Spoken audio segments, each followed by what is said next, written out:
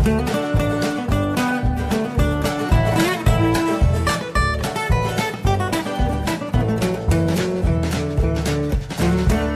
und herzlich willkommen zu Jörn Schaas feinem Podcast, Und Lexis. Episode 345. Ich bin Jörn Schaar und ihr seid Nicht. es nicht. Ähm, ja, und da die, die Chefin schon mal da ist, können wir auch gleich mit etwas anfangen, das mir sehr wichtig ist.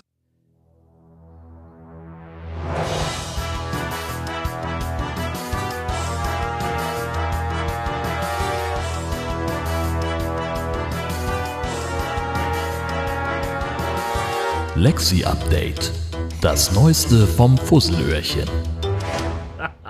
Ah, schön. Ja, ich hatte ein bisschen Zeit.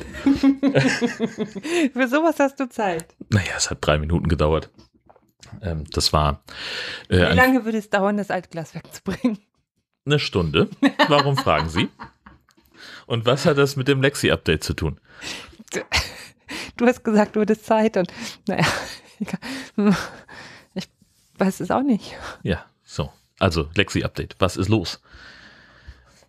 Das setzt mich unter Druck, wenn du mich das so fragst. Soll ich das nochmal anmachen und dann. Da, da, da, da, da, da, da. Noch eine Menge Heil drauf. Ja, war Absicht. Du bist hier, um was über Warum den Hund ist zu auf Hoge erzählen. die Akustik so schlecht? Oh, das ist eine Hallige.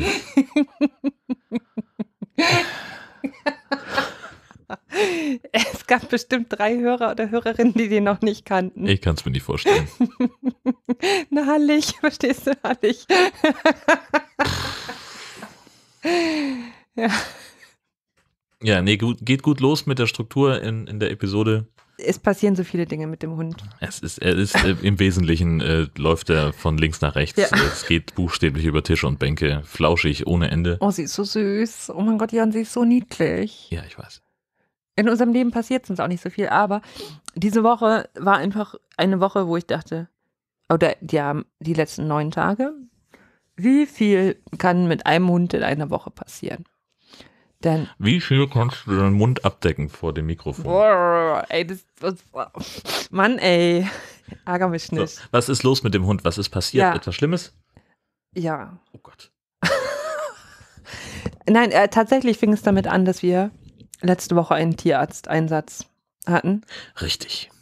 Ja, ich muss dazu sagen, dass ich manchmal ein bisschen ah, überängstlich mit diesem Hund bin, was bei dem anderen Hund nie irgendwie nicht so der Fall war. Aber bei Lexi, ich weiß nicht, sie ist so klein und zierlich und sie ist ja auch vorerkrankt und ach, ähm, ich mache mir immer so viel Sorgen. Das machst du echt. Ja, und letzten Samstag hatte sie irgendwie offensichtlich Schmerzen. Und wollte irgendwie nicht mehr gehen, dann sind wir in den Garten raus und dann hat sie sich hingelegt und mochte nicht mehr aufstehen und ich musste sie wieder reintragen und es war nicht schön. Nee, war das echt nicht. Ja, und dann habe ich meinem Tierarzt geschrieben. Und Deinem Tierarzt. meinem persönlichen Tierarzt, der immer, immer für mich neulich meinen. Hausarzt angerufen. Du meinst, ich sollte sagen Lexis Tierarzt. Vielleicht. Aber bezahlt Lexi die Rechnung? Nein, ich. Also ich habe Jörns Tierarzt geschrieben, Was? Was? Was? äh, der als erstes mal sagte, wir müssen Fieber messen. Wir so, äh, sollten mal Fieber messen. Das war aufregend. Ach. Oh Gott, oh Gott. Aber sie hat es gut mitgemacht. Sie hatte kein Fieber. Ja, auf jeden Fall ist er dann nachmittags vorbeigekommen und sagte, Ich finde es gut, dass du den Hund lobst. Das war für uns auch aufregend. du saßt nur daneben und hast ihren Kopf festgehalten. Und ich habe das Fieberthermometer vorbereitet. Du hast mir ein Fieberthermometer in die Hand gedrückt. Mit Creme drauf. Naja, bitte. Wir brauchen nicht mehr Details. Ja, nee, Fieber war es nicht, aber es war dann auch schon ziemlich deutlich. Auch als, ähm, als der Tierarzt dann kam, war sie schon so ein bisschen munterer.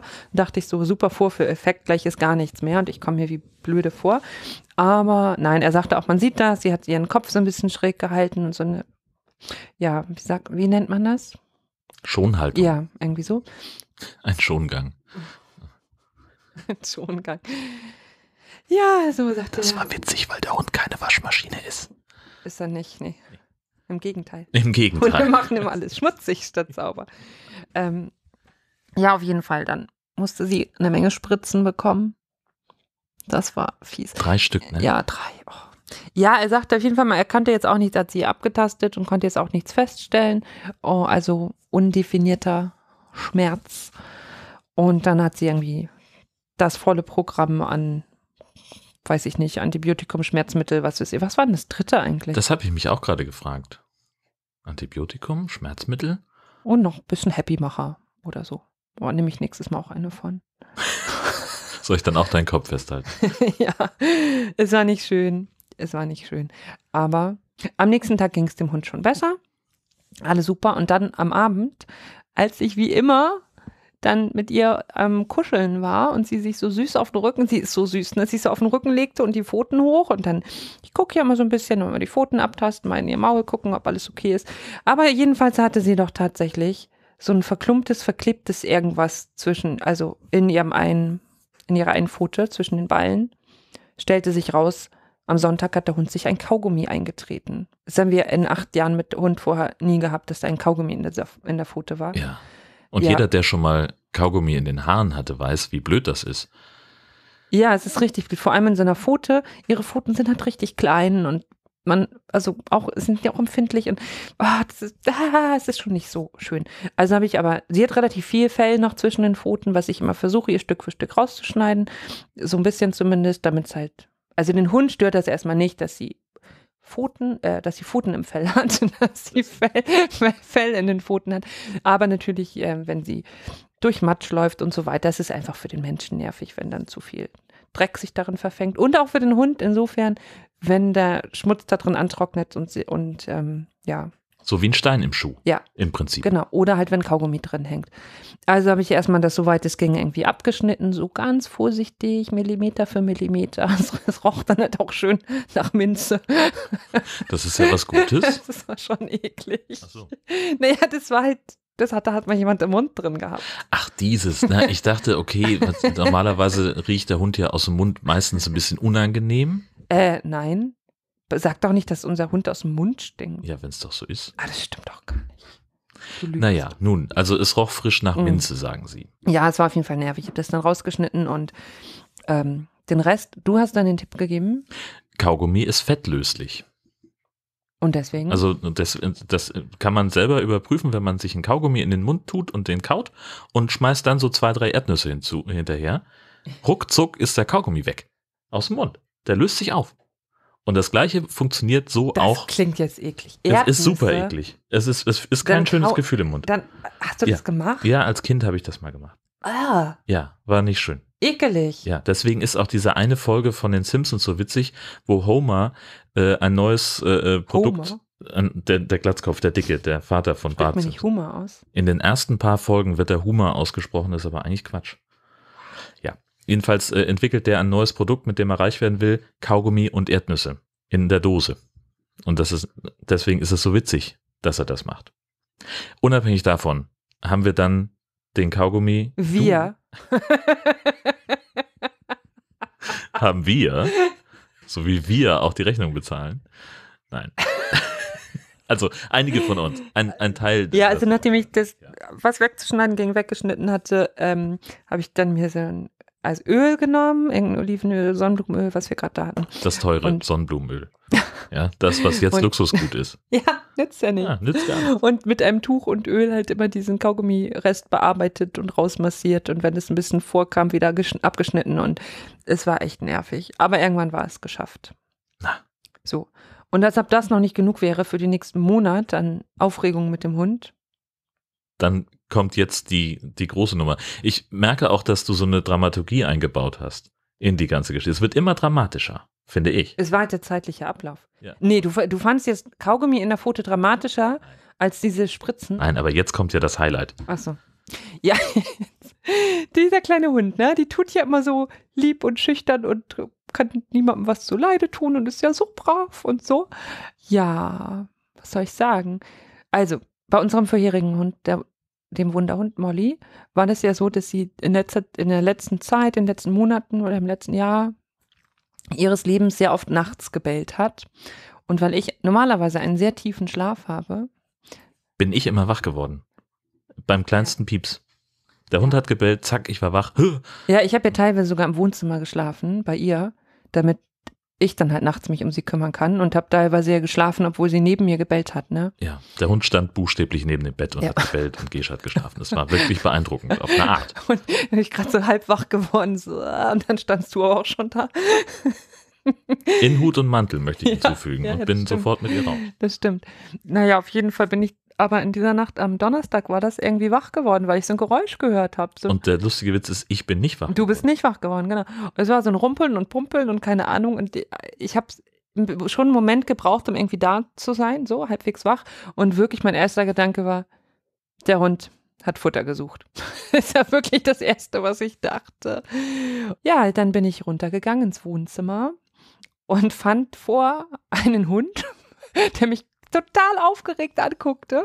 Und neben dem Hund lag ein Regal umgekippt. Also es, kannst du das Regal beschreiben? Wir haben so ein kleines Metallregal, das ist so ungefähr 50 mal 40 Zentimeter an der Grundfläche und ich würde sagen so ungefähr 1,70 Meter hoch. Ja. Hat vier Regalböden und besteht nun mal komplett aus Metall.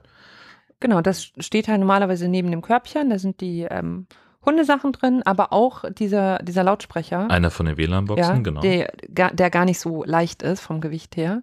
Auf jeden Fall war dieses Regal halt umgekippt. Und der Hund saß auch völlig aufgeregt, schwanzwedelnd, wuselig daneben. Und ich war wirklich zwischen totalem Schock und nicht glauben können. Und Aber hast äh, kein Foto gemacht. Also es war eher Schock. ich habe, ich muss zugeben, ich habe eine Sekunde lang überlegt, aber mein Handy war oben. Das Bild war, es war ein, wie sagt man, ein Bild für die Götter. Man Gleich so. mehrere.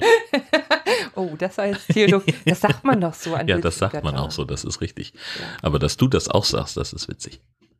Ja. Vom Ähm, Beruf her. Ach so. Ich muss kurz trinken. Lass dir Zeit, ich habe heute nichts weiter vor. Doch, du wolltest noch kochen für uns. Ja, aber du hast ja betont, dass du noch keinen Hunger hast. Ja, so langsam. Ich kann so langsam. Oh, dann müssen wir uns beeilen. aber lass dich nicht hetzen. Ich habe mir natürlich im ersten Moment auch total Sorgen gemacht und dann kommen mir die Gedanken, was hätte alles passieren können, äh, vor allem mit dieser Box, also diesem Lautsprecher, der da drin war. Und dann natürlich so, Gott, sie hätte das auf den Kopf bekommen können, sie hätte ja sonst was irgendwie. Und da musste ich aber auch wieder so lachen, weil es einfach so lustig war.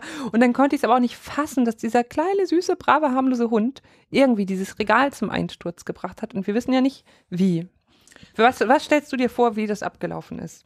Naja, also erstmal müssen wir vielleicht überlegen, warum, also das, ich glaube, das ist nicht ganz deutlich genug geworden. Äh, warum hatte sie denn überhaupt eine Motivation? Ja, Das ihre Regal. Leckerlis da drin sind. Ja, genau. Und zwar sind die in den obersten beiden Fächern des Regals. Ja, und es gibt auch so einen Stoffbeutel. Da waren die, ähm, wir haben ein to tolles Hunde-Care-Paket bekommen von, äh, von Dela. Vielen Dank. Yay, Grüße. Dela. Und da war so ein Stoffbeutel auch bei. So ein, keine Ahnung. Ja, Beutel, so ein Jutebeutel. Ist ja gar nicht. Man sagt immer Jutebeutel. Aber es ist ja kein Jute eigentlich. So, ne? Nein, St- Baumwollstoff. Ach, verrückt. Man sagt immer noch, weißt du, Jute ist ein ganz anderes äh, Material. Klingelt nichts. Also, nee, kann ich echt nicht. Aber ich, Nee, das ja klingelt egal. auch nicht. Aber, also, aber, Ähm, so ein Stoffbeutel Genau. zum Einkaufen. ja, und da hatte ich die meisten Leckerlis rangetan und denen an das Regal rangehängt. Und in Und- welcher Höhe hing der? Naja, so obendran halt. So vielleicht, Ja. bis man drankommt, schon so 1,50 oder was, keine Ahnung. Ja, und witzigerweise war dieser Beutel auch angenagt und die Packung mit den Hühnerhälsen, die da drin war, das Plastik war auch angenagt und schon ziemlich zerfetzt. Ja, die, also die, die Packung ist halb auf. Da ist, also Ja, kommt man auch So. ran, wenn man keinen Daumen hat. Und- Knickknack.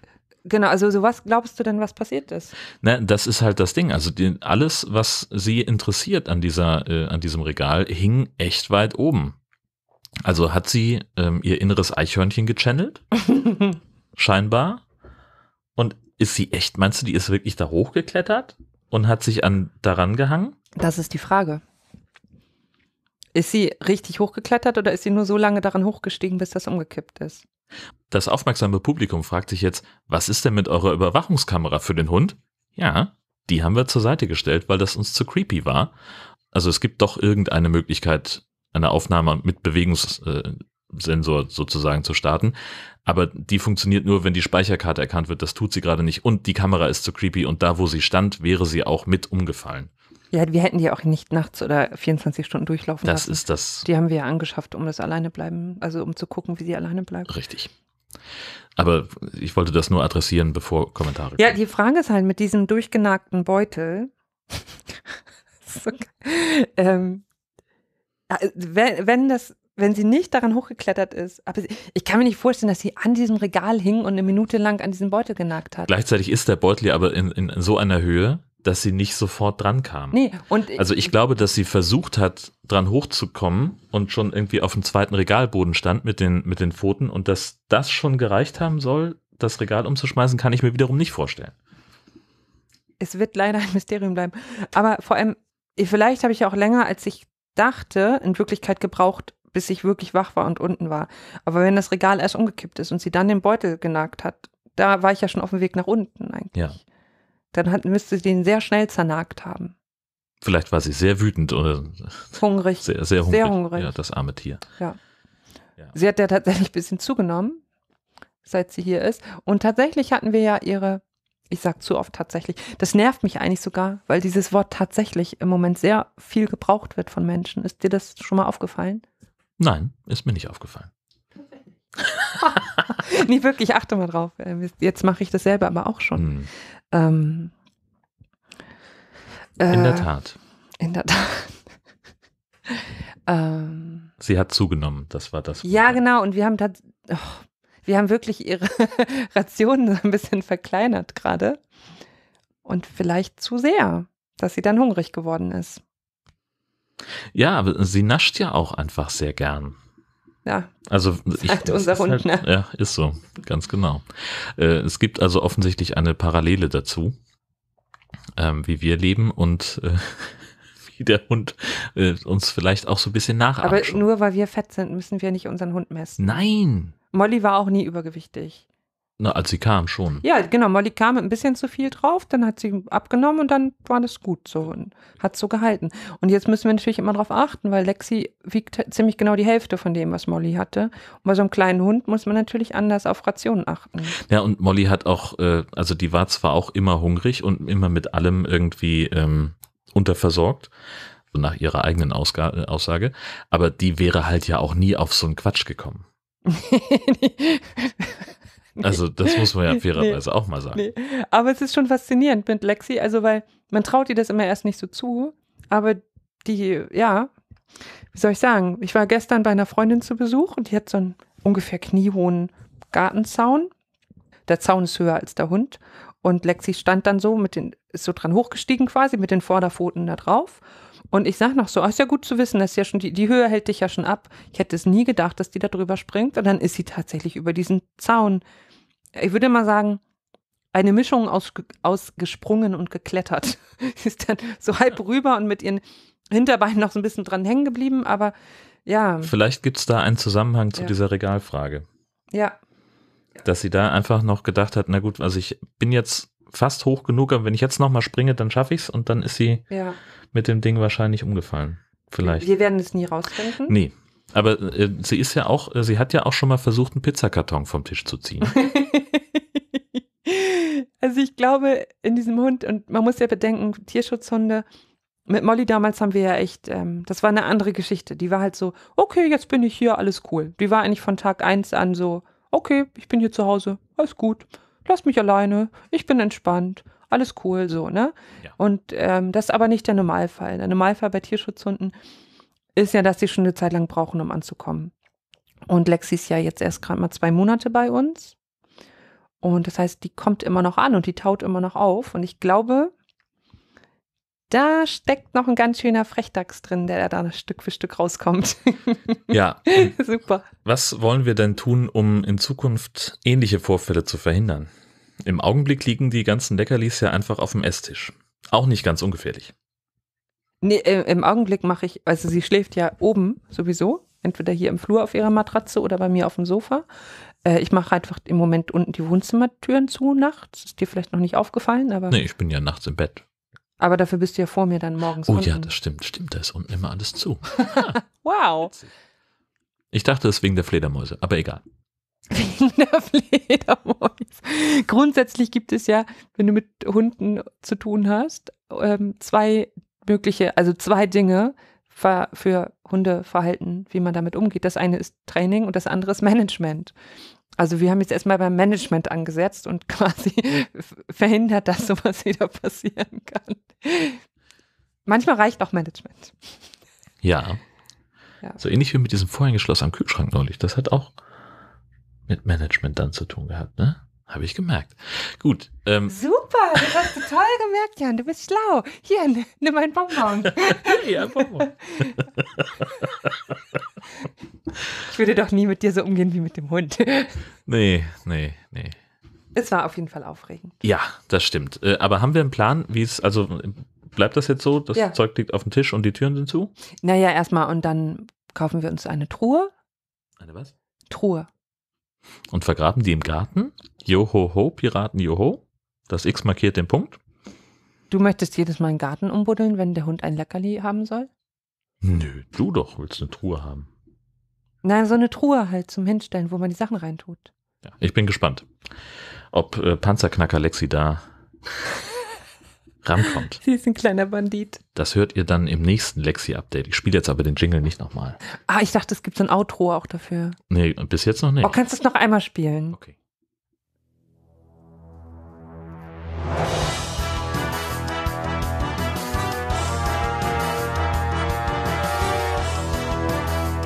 Und das war unser heutiges.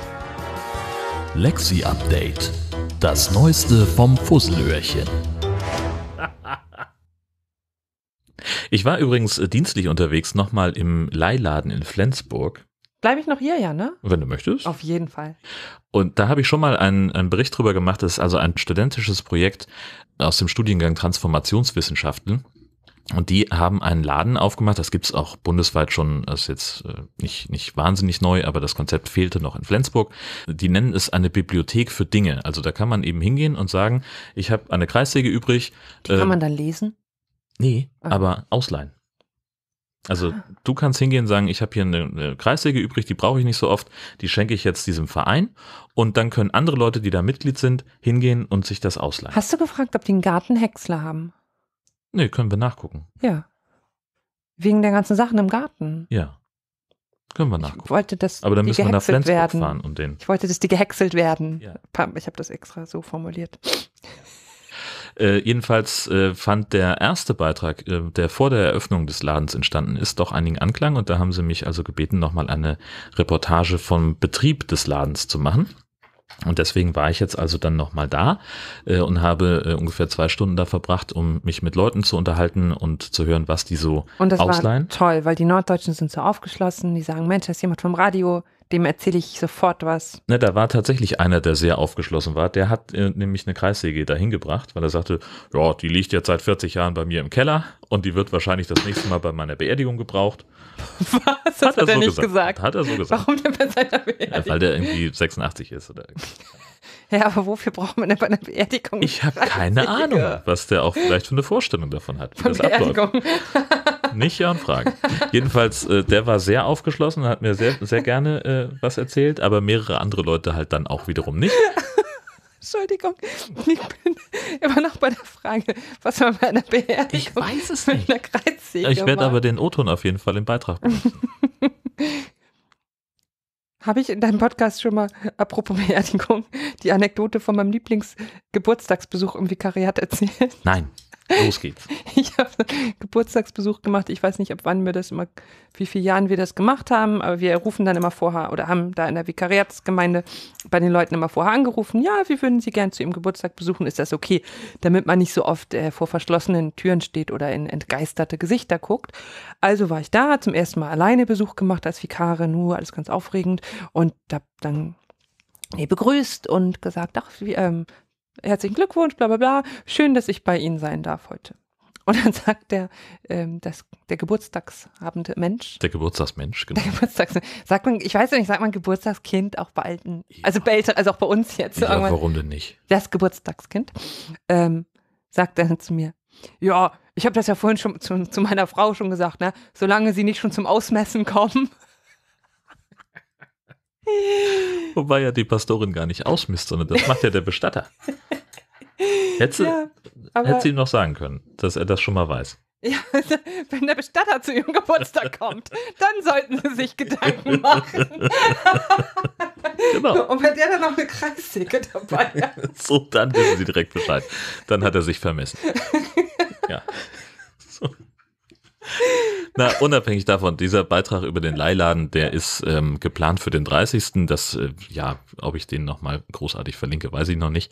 Aber ähm, das wollte ich euch zumindest erzählen, denn danach war ich noch äh, in einem dieser Flensburger Einkaufszentren und habe einen Döner gegessen bei Dönerwerk. Dönerwerk ist tatsächlich der erste mir bekannte Franchiser für Dönerläden. Hat das die gleiche Schrift wie Backwerk? So ein Nur bisschen, ja. So, Döner. ja, so, so ein bisschen. Und ich bin da immer dran vorbeigelaufen, weil ich dachte, ja, Franchiser, weiß ich nicht, wie soll das denn schmecken? Äh, Das mangels Alternative habe ich da nun gegessen und es war tatsächlich ganz schön lecker. Also die haben wirklich gutes Brot, das Fleisch ist in Ordnung. Ähm, Also alles insgesamt so ein kleines bisschen, ich will nicht sagen ereignislos, aber so ein sehr guter Durchschnitt von Döner. Kann ich also schon mal sagen. Dönerwerk. Hast du eigentlich jetzt auch mal Veggie-Döner? Weil wir haben irgendwann mal drüber gesprochen im Podcast, dass du häufiger mal Veggie-Döner essen solltest. Ja, Aus ethischen und ökologischen Gründen. Ja, das ist korrekt. Es gibt jetzt auch in Husum einen Döner, der Wöhner anbietet, also vegetarischen oder vegan sogar. Ähm, aber die belegen den normalen Döner schon so lieblos, dass ich ähm, da fast keinen Spaß dran habe. Okay, du redest jetzt ja über die Art von Veggie-Döner, wo Fleischersatz drin Genau. ist. Richtig. Ne? Also Ja. Veggie-Döner an sich gibt es natürlich immer schon mit Feta-Käse oder mit Falafel.